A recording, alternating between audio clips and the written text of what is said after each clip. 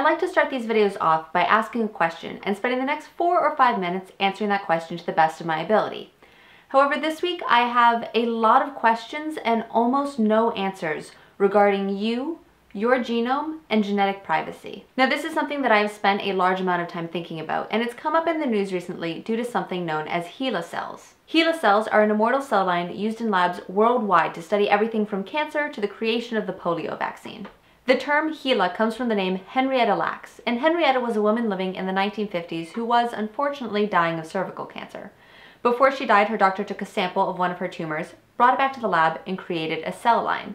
Now, at the time, consent for this sort of thing wasn't customarily asked for and it wasn't required, so he wasn't doing anything wrong. Now, the problem and ethical quandary here came from the fact that people were able to readily associate Henrietta's name with her sample. That does raise some privacy issues, and her family didn't even know that her cells were being used in this sort of medical testing until the 1970s. At that point, their own medical records had been dragged into some of this, and their own privacy had been breached in a couple of different ways.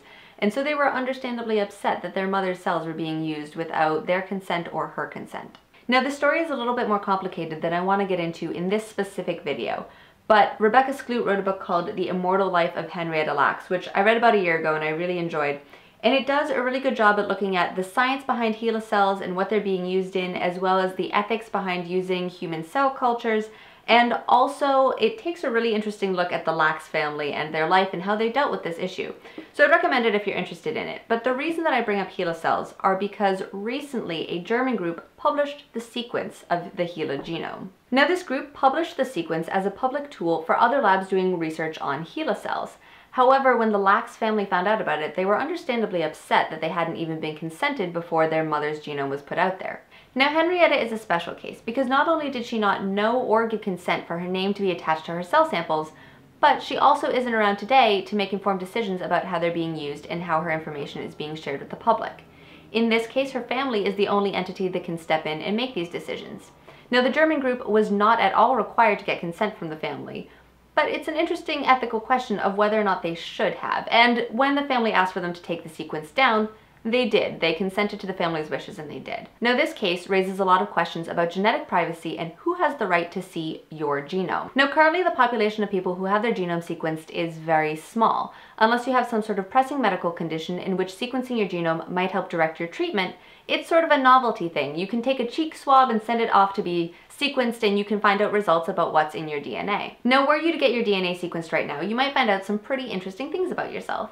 You might be able to find out where your ancestors came from, you might be able to find out what alleles of certain genes you have, and you could also discover your disease risks. Now, this raises some interesting questions.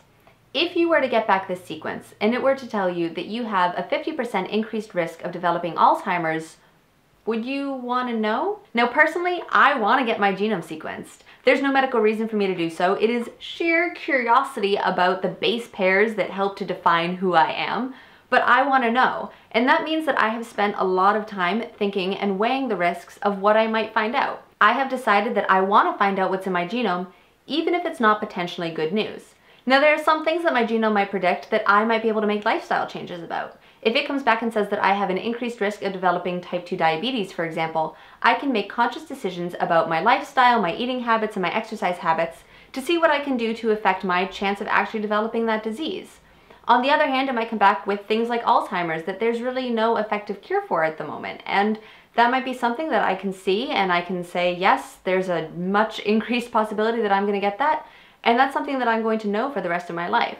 Now that might put some sort of emotional burden on me. It raises some very interesting questions about how it will affect my life, but I have spent time thinking about that and I've made the decision that I want to know. Good or bad, I want to know what's in there. So that's my first question to you, is do you want to get your genome sequenced? Do you want to know what is hiding in those base pairs, good or bad, and would it impact the way that you lived your life? Now my next question to you is who would you share that information with? It makes sense that the first person you would share this sort of information with is your doctor. You two can discuss the results, you can discuss what sort of lifestyle changes you might want to make based on them. But would you want to share this sort of information with your biological family, the people who share parts of your DNA? Now it's very possible that your family members might not want to know. While you have made the decision to find out what is in your DNA, they might want to go on living their lives without knowing that. They might not want those answers, and that's all right. But maybe you don't want to share your information with them, even if they do want to know. But these are people who share your DNA, who could possibly be sharing some of those results with you. And is it okay for you to be withholding information that could possibly have a big impact on their lives? I don't have answers for these questions, but I do think that they're really important ones to start thinking about because honestly, I believe that within the next 10 or 15 years, a lot more people are going to get their genome sequenced, and that's really where medicine is headed. I really think that personalized medicine and genomics are the future of health, and that in the not so distant future, you're probably going to get your genome sequenced just as part of your normal workup. It's going to be just as normal as getting your blood tested. So with that in mind, let's bring this privacy question a little bit farther than just you, your family, and potentially your friends. What about the public? Should your sequence be public information? In 2008, in the United States, the Genetic Information Non-Discrimination Act was passed. And what this does is it means that employers and health insurance companies may not discriminate against you based upon your genetic sequence. However, it does not protect against discrimination from life insurance companies, disability insurance, and long-term care. Now what this means is that if you get your DNA sequenced and you get a result back that says you are at a higher risk for something that could potentially kill you at a young age, a life insurance company can see that and say, you know what, we really don't want to offer you life insurance. And that can have financial and emotional impacts on you and your family. Now, a lot of people will look at that and say, well, fine, this is my private information. Maybe I'll share it with my doctor, maybe I'll share it with my family, but beyond that, why would I want to share it with anyone else? And to you, I say scientific research.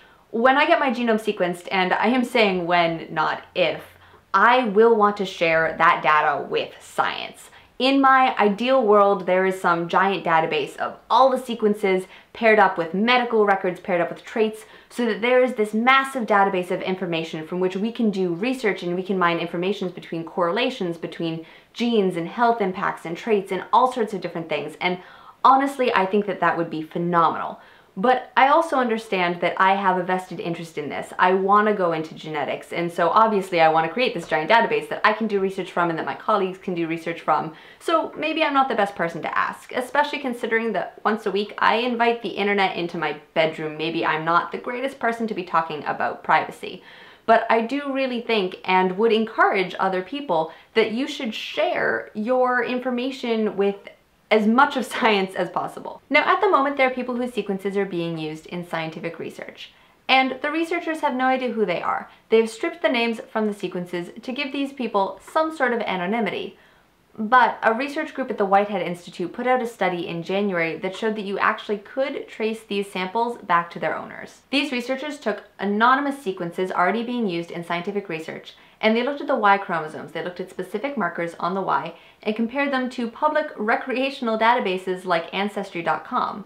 Currently, you can take a cheek swab, send it off to Ancestry.com, and they can come back and say, hey, here's some of your DNA, here's where your ancestors might have come from, and here's some people you might be related to. And that's really cool, and a lot of people are doing it. But these researchers were able to compare those Y chromosomes to sequences found in these databases and narrow it down to a last name. Now, it might not be the same person that they found in the database, but because last names are often passed down in the male lineage, just like Y chromosomes, they could get a pretty good guess at the last name of this anonymous sequence. What they did from there was they used the internet, they used Google, and they used this last name and they used some other identifiers that came with the sequence, like the age and the state that this person were from, and they found the names of the people that these sequences belong to. Now they did this to prove a point. They didn't do it to publish the names of the people they found or to track them down, but to show that at the moment no one can really guarantee you anonymity of your sample. No one can say with complete certainty that no one's going to figure out that this sample belongs to you. And that can be a little scary to some people. So I want to go back to that HeLa sequence that was published just a couple months ago. The interesting thing here is that one of the reasons that the Lacks family gave for not wanting Henrietta's DNA to be public was because they felt that it was also their own information that was being shared. Because Henrietta was their mother or their grandmother, her DNA was passed down to them. So by being able to investigate Henrietta's DNA, you can also, in a way, investigate the DNA that her family might have inherited, and they claim that this was their private information that was being shared. Henrietta is a special case because she's no longer around, but what if I made my DNA public and my family made the same argument? What if my parents said, no, that's our DNA that she inherited, that's our information that you're looking at, we don't want that public, take it back. Could my brother make the same argument? Could my kids, if I had any? At what point do you have to be genetically related to someone to claim that that's not just her information, that's mine too. So if you're still with me at this point, congratulations. I have thrown a lot of hard ethical questions at you and done so in a very short amount of time.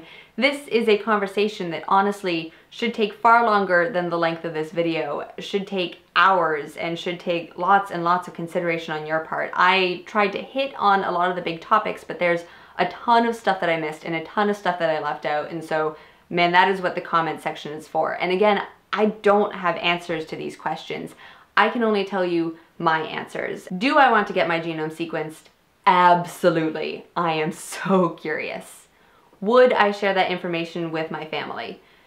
If they wanted to hear it, I would. I don't know that they do, but if they wanted to know, I would happily share it with them. I would also share it with my doctor, I would share it with my friends, and I would share it with the public. I would share anything that I think in any way could benefit science, could benefit public research, could do anything. So I'm very open. I will share whatever you want to know about my DNA. This was a hard one, guys. Let me know what you think down in the comments below. I am really interested to see how other people feel about this. And so keep thinking, go forth, and do science.